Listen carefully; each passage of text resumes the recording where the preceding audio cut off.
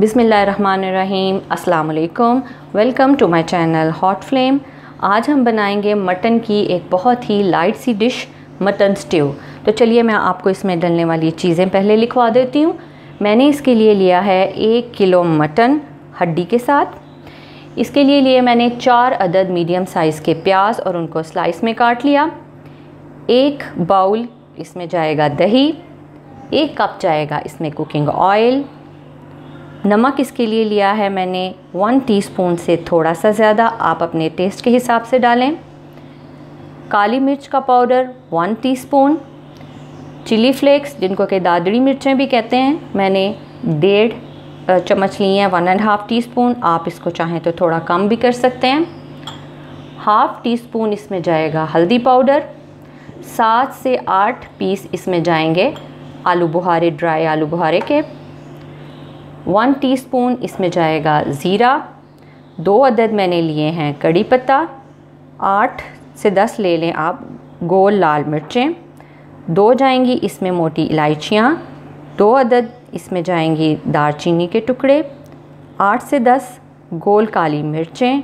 चार अदद लौंग लिए। और उसके बाद जाएगा इसमें वन टेबल स्पून लहसुन का पेस्ट और वन टेबल स्पून अदरक का पेस्ट। और साथ में पाँच से छः सब्ज़ मिर्चें। तो चलिए इसको पकाना शुरू करते हैं। तो सबसे पहले हमने पैन लिया देखचा उसमें हम डालेंगे ऑयल।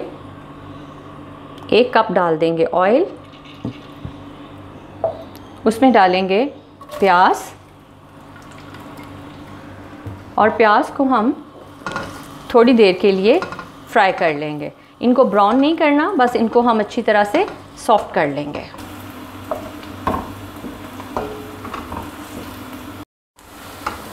प्याज को हमने मीडियम हीट के ऊपर 8 से 10 मिनट के लिए फ्राई किया।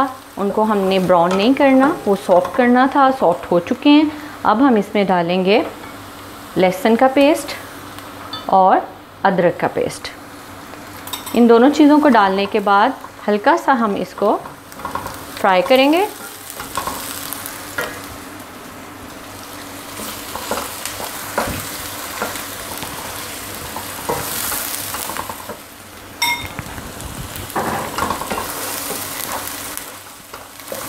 और साथ ही इसमें ऐड कर देंगे गोश्त।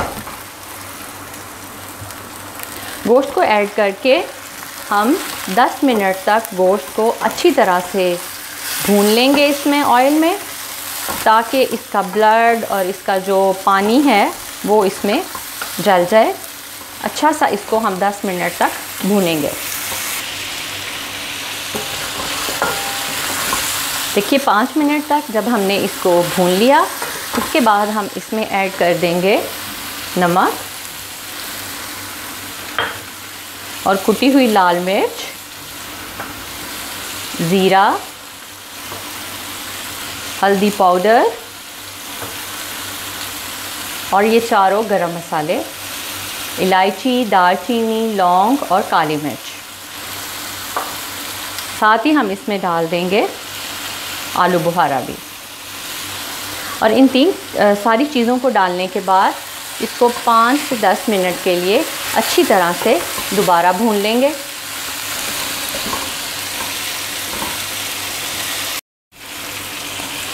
गोश्त को हमने मज़ीद पाँच मिनट तक अच्छी तरह से भून लिया। अब इसमें हम ऐड कर देंगे तकरीबन चार गिलास पानी। चार ग्लास पानी ऐड करने के बाद इसको हम कवर कर देंगे और इसके गलने तक इसको पकने देंगे। अगर आप इसको कुकर करना चाहते हैं तो फिर आप इसमें दो ग्लास पानी डालेंगे और इसको तकरीबन 10 से 12 मिनट के लिए कुकर करेंगे। तो हम इसको कुकर के बगैर पका रहे हैं। तो ये तकरीबन 30 से 40 मिनट तक इसको पकने देंगे। मटन को हमने तकरीबन 40 मिनट तक मीडियम टू स्लो हीट पर पकने दिया है। मटन बड़ा अच्छा सा गल गया है। अब इसमें जो पानी है थोड़ा सा, इसको अब हम भून कर ड्राई करेंगे और साथ साथ इसमें हम ऐड कर देंगे एक बाउल योगर्ट का, दही का जो हमने लिया था। साथ इसमें जाएगा काली मिर्च का पाउडर कड़ी पत्ता और ये साबुत गोल मिर्चें भी हम इसमें डाल देंगे। और अब हम इनको तकरीबन पाँच से दस मिनट तक अच्छी तरह से भून लेंगे।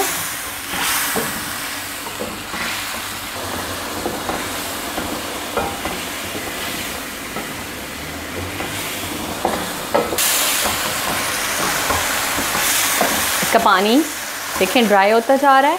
यहाँ पर आपने जितनी ग्रेवी उसमें रखनी है, उस स्टेज पर पहुँच कर आप इसका चूल्हा बंद करेंगे। हम इसको थोड़ा सा भी और ड्राई करते हैं। देखिए, बहुत अच्छा सा भुन गया है, इसका ऑयल भी ऊपर आ गया है और इतनी इतनी थोड़ी सी ग्रेवी हम इसमें रहने देंगे। इस स्टेज पर हम इसमें ऐड करेंगे जो सब्ज़ मिर्चें हमने रखी थी, इस तरह से बड़े बड़े साइज़ में एक इंच के टुकड़े काट कर इसमें ऐड कर देंगे और चूल्हे को बंद करेंगे। तो ये रेडी है, मज़ेदार सा मटन स्ट्यू। आप इस डिश को बनाएँ। अगर आपको पसंद आए तो डिश को लाइक करें। और मेरी रेसिपीज़ मज़ीद चाहिए तो मेरे चैनल को सब्सक्राइब करें। अल्लाह हाफ़